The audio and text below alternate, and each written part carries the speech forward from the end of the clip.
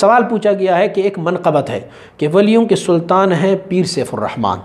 تو ولیوں کے سلطان سے مراد تو مولا علی کو سنا ہے۔ اسی طرح محبوب سبحان بھی پیر صاحب کو کہا گیا ہے، جبکہ یہ بات تو سرکار کے لیے ہونی چاہیے۔ سبحان اللہ۔ میرے بھائی، جب بھی کسی زمانے کے اندر کسی کو کہا جائے کہ یہ فلاں بندہ جو ہے، یہ بہت بڑا ہے۔ ہم کہتے ہیں، فلاں بہت بڑا عالم ہے، لیکن بہت بڑا تو اللہ ہے۔ ہم کہتے ہیں اللہ اکبر۔ لیکن اگر ہم نے کہا کسی عالم کے لیے کہ یہ بہت بڑے عالم ہیں، تو پھر ان کو خدائی سے تشبیح دیا۔ یا ہم کہتے ہیں اعلیٰ حضرت۔ حضور کو ہم کہتے ہیں حضرت محمد مصطفیٰ۔ اور اعلیٰ حضرت کو کہتے ہیں اعلیٰ حضرت۔ شاہ احمد رضا خان بریلی صاحب کو کہتے ہیں اعلیٰ حضرت۔ تو مراد اس سے اپنی زمانے کی ولیوں کے سردار ہوتے ہیں، کہ ولیوں کے سلطان۔ اب آپ، حضرت سلطان باہو رحمۃ اللہ تعالیٰ کے بارے میں آپ نے ان کا لقب سنا ہوگا سلطان العارفین انہیں کہا جاتا ہے۔ تو سلطان العارفین کے مراد کیا ہے؟ عارفوں کی بادشاہ سلطان۔ تو یہ لقب بھی سیدنا علی کرم اللہ وجہ کو پھر چاہیے نا۔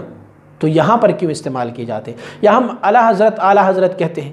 یا ہم کہتے ہیں کہ یہ بہت بڑے پیر صاحب ہے، بہت بڑے مرشد ہے۔ یا ہم اس کے علاوہ دوسرے مشائق کے ناموں کے ساتھ ایک لفظ ایسا لگا لیتا ہے کہ وہ لفظ دلالت اس پر کرتا ہے کہ شاید یہ لفظ اللہ کی ولیوں کے لیے نہیں ہو، بلکہ صحابہ کرام کے لیے لفظ ہو۔ لیکن اب آپ دیکھیں، ہم کہتے ہیں حضرت شیخ عبد القادر جیلانی رحمۃ اللہ کو غوث اعظم۔ اب غوث اعظم کی نام تمام غوثوں سے سب سے بڑھ کر غوث، تو یہ لفظ بھی تو صحابہ کرام کو بھی چاہیے۔ نہیں، جو اپنے زمانے کے ولی ہوتے ہیں، اب حضور مبارک صاحب علیہ رحمت کے بارے میں جو کہا گیا کہ ولیوں کا سلطان ہے، پیر سیف الرحمن، تو مراد اپنے زمانے کے وہ ہوتے ہیں۔ نہ کہ معتقدم اور ماتاخر علماء کی یا اولیاء کی، بلکہ اپنے زمانے کے اولیاء جو ہوتے ہیں، ان کے بارے میں۔ اور اگر کوئی یہ کہے کہ آپ اپنے زمانے کے اولیاء کو کہتے ہیں، تو اپنے زمانے میں تو آپ کی مرشد سے زیادہ کوئی بڑے مرتبے والا ولی بھی ہو۔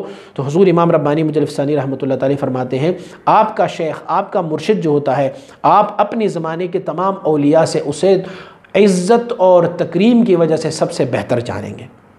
فلہٰذا یہ جو مرشد ہوتے ہیں، ان کے لیے جو لقب استعمال کرتے ہیں کہ ولیوں کا سلطان ہے، سلطان العارفین ہے، غوث اعظم ہے، یا ہم کہتے ہیں کہ یہ مجدد ہے، تو ان کا مراد اپنی زمانے کے لیے ہوتا ہے۔ ما تقدم اور ما تأخر کے لیے نہیں ہوتے، اسی لیے یہ لفظ جو ہے وہ صحیح ہوتا ہے۔ سلسلہ لیے سیفیہ کی نعتیں منقبتیں و بیانات و دیگر معلومات سے آگاہ رہنے کے لیے ہمارے یوٹیوب چینل کو سبسکرائب کریں اور اس ویڈیو کو لائک کریں اور کمنٹ ضرور